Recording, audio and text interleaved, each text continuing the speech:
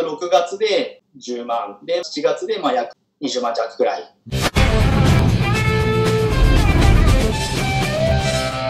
今日は対談の方を送っていきたいと思います。先生、自己紹介してもらってもいいですか？えっ、と、新潟県長岡市で、えー、整骨院経営してます、鳥島と申します。よろしくお願いします。よろしくお願いします。現在、えー、開業してどれぐらいになるんですか？そうですね、開業してからは、うもう、実は10年と、10年3ヶ月くらいになりますね。おもう10年いってるんですね。そうなんですよ。日数の年月だけは。いやいや、めちゃめちゃすごいじゃないですか、10年プレイヤー。そうですね。なんとか、ありがたいことに。まあ、先生は僕の一人治療メソッドっていう塾にまあ入っていただいたわけですけども、入塾していただいたのでいつぐらいでしたっけ？入塾したのは5月の頭ですね。じゃあ5月からのお付き合いですね。はい。そうですね。じゃあ入塾前のこの院の状況ってどんな状況でした？そうですね。その前はだいたいまあ50万、60万あたりをずっとこううろうろしているような状態ですね。その60万の状況っていうのはどういう生活状況なんですか？結構やばい状態なんですか？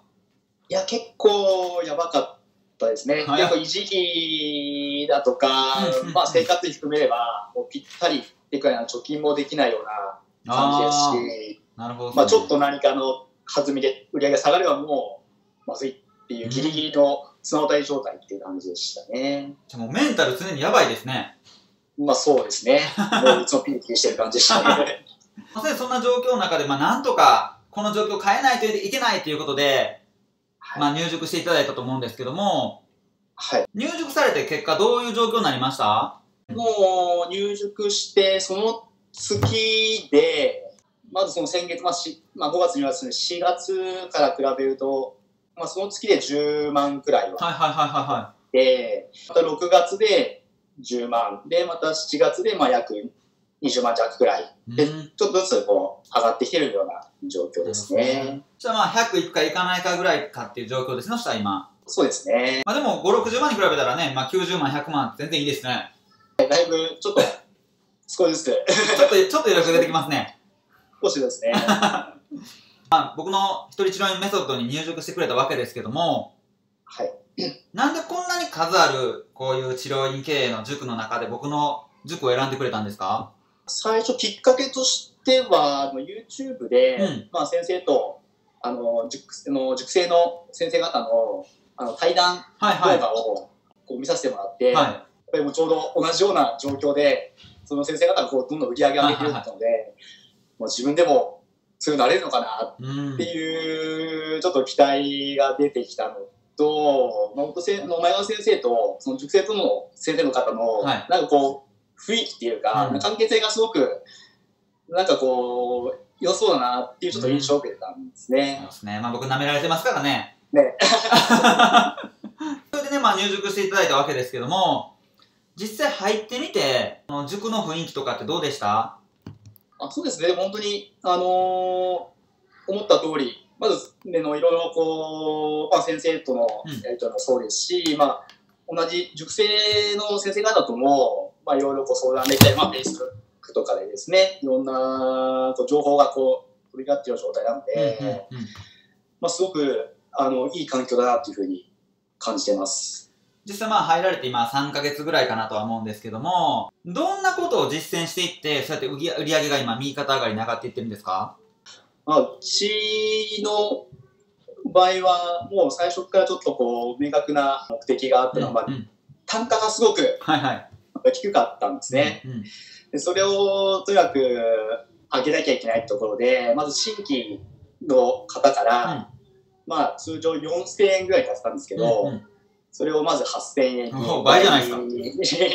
してですね、まあ、そこからまあ、あの集約するために、まあまず LP をしっかり作って、まあ今 PPC で、それをこうかけて、それで新規の集約をしてるっていう感じですね。でも今までそんなんしてこなかった先生が急にしてなぜできたんですか？それが。まあ、本当に他の、まあ、周りの塾生の、あのー先生方がですね、やっぱりもう、すごい勢いではい。売り上げを上げているので、もう、それを見ていると、もう、基準値がもう全然もうか、自分の価値観がもうガラッと変わってきたっていうのはありますね。うん全然倍にしても特に抵抗なくできたところはありますね。なるほどですね。まあ、最後にですね、今この動画見ても、そうは言っても先生だからできたんでしょって思ってる方とかたくさんいてると思うんですよ。まあ先生に向けて何か一言最後メッセージいただけたらと思うんですけども。入塾させてもらってから、あのー結構実感してることなんですけれども、まあ、ね、塾の費用とかもはいはいはいはいいい値段がするんで、まあそれは、まあ自分の今の悩みを解決するための仕事をしてるので、うんうん。まあ、やらせてもらってるんですけれども、そこでしっかりこう自分に投資をしたことで、うん。